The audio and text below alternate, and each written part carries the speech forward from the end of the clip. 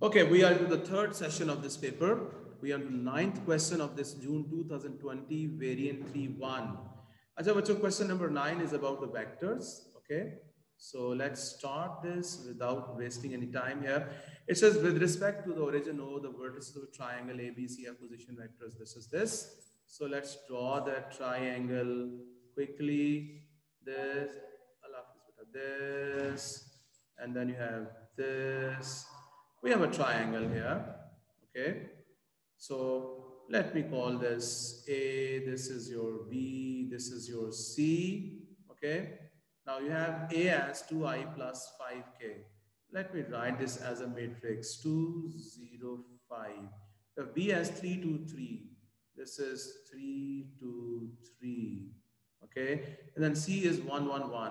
Okay. This is 1, 1, 1. It says use a scalar product to show that uh, angle ABC is a right angle. Angle ABC, okay, this angle has to be a right angle. So I need BA and BC for this purpose. So your BA is going to be OA minus OB. Let's do that quickly. OA minus OB. 2 minus 3 is minus 1. 0 minus 2 is minus 2. And 5 minus 3 is 2. That is your BA. And then let's have BC. This BC is going to be OC minus OB. So this is 1 minus 3 is minus 2, 1 minus 2 is minus 1, 1 minus 3 is minus 2. This is your BC. If you want, you can um, simplify these directions, but chalo chodo, let's simplify BA dot BC. Now this should be 0 if this is a right angle. Over here, okay? So let's write this as minus 1, minus 2, 2 dot minus 2, minus 1, minus 2. So minus 1 dot minus 2 is 2. This is going to be plus 2 and this is minus 4 and that is equal to 0. This means, implies that angle ABC is a right angle. Okay, now let's move to the B part quickly. Show that triangle ABC is isosceles triangle. Acha. Now you know that this is a right angle over here. There are two marks, okay? So if you just show that this angle or this angle is 45 degrees, because obviously if it is uh, an isosceles triangle, ABC is, we have determined that this is a right angle and you can't have two right angles a triangle. So one of these has to be 45 degrees, okay? So uh, let's find AC then, okay? So AC is going to be OC minus OA. So this is going to be 1 minus 2 is minus 1. This is 1. This is minus 4. I'm going to find this angle A. So I would be needing this vector and this vector, okay? So uh, I have AC so I need AB. So this AB would be, look at this AB. I need to change the signs here. This is going to be 1, 2, minus 2. Let's find this angle A. So cos of angle A is going to be, now this should be 1 over under root 2 because we know that cos 45 is uh, 1 over under root 2. So let's see that if we really get that. Okay, now this is um, minus 1, 1, minus 4 dot 1, 2, minus 2 over the square root of 1 plus 1 plus 16 and this is 1 plus 4 plus 4. I am using here the formula that cos theta is equal to A dot B over the magnitude of A into the magnitude of B, okay? So this is going to be minus 1 plus 2 plus 8 over under root of 18 times under root 9. Now this is uh, 9 over 9 over. Now this is 3 under root 2 and this one is 3. So you see that we get 1 over under root 2. So this means that this angle is 45 degrees and this is also going to be 45 degrees. So this shows that this is an isosceles triangle. Okay, you have to write that in appropriate and immediate terms here. Okay, so I'm moving towards the C part. Find the exact length of the perpendicular from O to the line through B and C. From O, okay, from O to the line through B and C. Okay, uh, I need to clear areas here. Okay, so I would be doing this here. Okay, this here. I I needed BC. चलो खैर कोई बात नहीं. this is. Let me clear all of this, yeah. Let me clear all of this. I just need to have the points B and C. Can someone tell me what was the point B? What is OB and what is OC? Hmm? Where is this? Yeah, okay. This OB is 323 and OC is 111. Okay, going to the C part. Okay, it says find the exact length of the perpendicular from O to the line through B and C. So we have a line, this is the line BC, okay, and here is a point O. So we have to find this, let me call this point as X, okay. So we have to find this length OX, that is the perpendicular O to this BC. Remember, you have to have the equation of BC first of all. I'll be writing that quickly. R is equal to A plus lambda B. So R is equal to, I'm using this 1, 1, 1 as my A plus lambda into 3 minus 1 is 2, 2 minus 1 is 1, 3 minus 1 is 2. This is the equation of this line BC. This means we can say that this point X is going to be 1 plus 2 lambda. This is 1 plus lambda and this is 1 plus 2 lambda. Okay. So this is your, and this is 0, 0, 0. And the same can be used to determine OX, the direction vector. And this will be 1 plus 2 lambda, 1 plus lambda, 1 plus 2 lambda. Okay. Now this is one direction OX and there is another direction, this 2, 1, 2. Their dot product has to be 0 because they're at right angles to each other. So let's do that. 2, 1, 2. Guys, if you have any question, please let me know. We have done this and you might have forgotten it. So this is going to be equal to 0. So this is 2 plus 4 lambda plus 1 plus lambda plus 2 plus 4 lambda that is equal to 0 and this is going to be 4 5 9 lambda. And this is uh, 2 plus 1 is so 2 3 plus 2 is 5 okay? That is equal to 0 i'm getting a very weird value of lambda that is minus 5 over 9 please have a look at this if there is any careless mistake. So this lambda is correctly minus 5 over 9 you put that into OX because you have to find the length of OX. You will be getting a very weird kind of this OX. That is 1 minus 10 over 9. 1 minus 5 over 9. 1 minus 10 over 9. Okay. This is your OX. And you get it as uh, minus 1 over 9. This is 4 over 9 and this is minus 1 over 9. Okay, so we need the length. You need to find the magnitude. Okay, so this is 1 plus 16 plus 1 over 81. That is 18 over 81 that is 2 over 9 and this is 1 over 3 under root 2 that is your ox that is your ox should i check? Yeah that is 1 over 3 under root 2 okay that's great. Okay but so pooch lo if there is any question yaar. Okay the last question of this paper. It says the complex number u is this, this, this. Express u is in the Cartesian form. This is the Cartesian form here in terms of a. So without wasting any time, you go on to realize the denominator, okay? So this is a minus 2 iota over a minus 2 iota.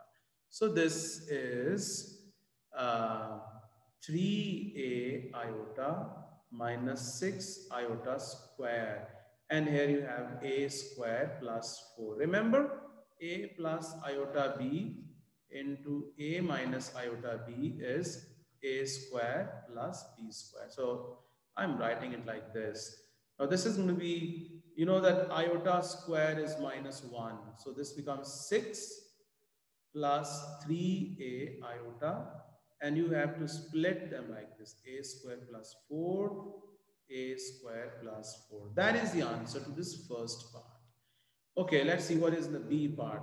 Find the exact value of a for which argument of u star is pi by 3 okay now argument of u star if your u is this then your u star is going to be 6 over a square plus 4 minus 3a over a square plus 4 iota. Okay, it says that is uh, pi by 3. This is pi by 3. Okay. The one thing is that I know that this a has to be a negative value because pi by 3 is going to be in the first quadrant. And in that first quadrant, both the um, the real and the imaginary parts, they, they are going to be positive, okay? So that means this tan inverse of this minus 3a over a square plus 4 over 6 over a square plus 4 is going to be equal to pi by 3. Okay, this is cancelled by this. So you have minus 3a over 6 that is tan pi by 3. Do you know what is tan pi by 3? Hmm? I think that is under root 3. Anna, That is under root 3. So this is 1s are, 2s are. So this A is going to be minus 2 under root 3. Let's check the answer. Uh, yeah, this is the answer here, minus 2 under root 3. So we are the winners again, Alhamdulillah. So this is your A, minus 2 under root 3. Bacho, I'm stopping here. Please put slow if there is any problem. So guys, they are saying that it's clear. We move to the B part. Okay. It says on a sketch of an Argand diagram, shade the region whose points represent complex numbers, blah, blah, blah, blah. Okay. And at the end, it's saying calculate the least value for argument of z. So that means we need to draw that very carefully using a scale. So, bacho, let's use a scale and you also do that with me. Okay. So let's take a scale here and draw this. Okay. And here it is going to be,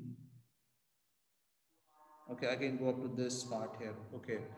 And I have to be very precise with the scale here.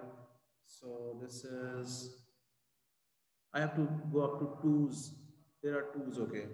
One, two, I'm taking this up to four here, okay. And then one, two.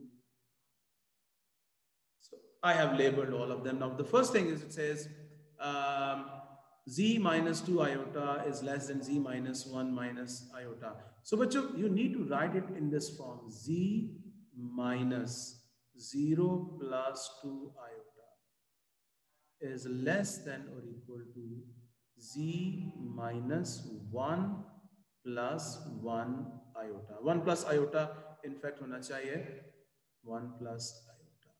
Uh, 1 plus iota. So this is the situation where you basically go for the perpendicular bisector. Like if this is the point A and this is the point B. So first of all, you must see that there has to be a perpendicular bisector. Let me mark this 0 plus 2 iota. Here is this 0 plus 2 iota. Let me call this point A. And then 1 plus 1. This is 1 plus 1 here. Okay. So this is your B. Okay. And I have to draw the perpendicular bisector. Let's have an imaginary kind of a square over here. Okay. Like this. Because the perpendicular bisector has to be going like this. Okay. It will pass through this point, through this point, and through this point over here. Okay. So taking the line option, I'll draw that.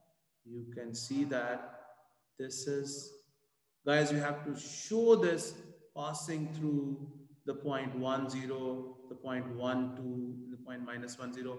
This is what uh, will force the examiner to give you the marks, okay? And then there is z minus 2.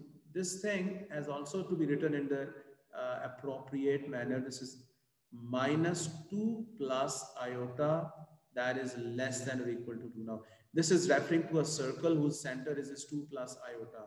2 plus iota is here. Here is the center of the circle and the radius is 2. So that means two steps to the left, two steps to the right, two steps, sorry, up, right, and two steps down. You should have marked these points that your circle is going to pass through these points, okay? Here, acha, yahan. So, they don't try to draw a perfect circle over here, okay? The thing is, it has to be passing through these points here.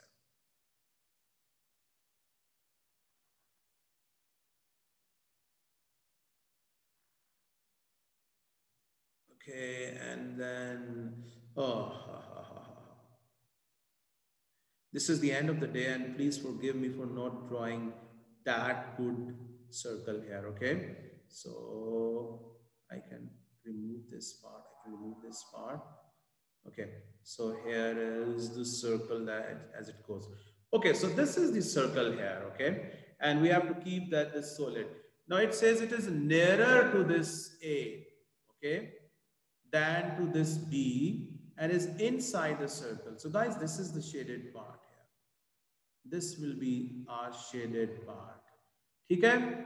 This is the part, the I mean the locus of Z. It says calculate the, the least value of argument of Z. The least value of argument of Z. Hmm? So, uh, where do you think you have the maximum argument of Z? Hmm? But where is the maximum argument? That would be at this point and that will be pi by 2. Here is the maximum argument, okay? And to see the least argument, you will have to draw a tangent, okay, like this. So here is the tangent and now I have to see that what is this point, okay? So I can draw a line here. This is a tangent here and now we can determine this angle. My mistake, no one noticed that I'm going in the unshaded area, yaar. I have to find that Z in this shaded area. So I think the least um, argument is going to be at this point, at this point. Here it is. And, you know, Fortunately, we have marked this point and we know that this point is 2 comma 3. This point is 2 comma 3. Now this happens if you draw your diagram accurately. So you don't have to do anything, just find this angle. You have this 2 comma 3. So the least uh, value of argument z is going to be this argument of z is going to be tan inverse of 3 over 2 can you find that? Let me see if I'm doing that correctly. Tan inverse, yes, that is 2 plus 3 iota. So this is 56.3 degrees. Thanks God, this is 56.3 degrees. Guys, I was going into the unshaded part. I had to focus on this shaded part here. Okay, if he had asked you the greatest argument, that would be here. And that would be pi by 2, 90 degrees. But this is the point here where you can have the least angle, least argument, which is going to be 56.3. And this ends our paper here.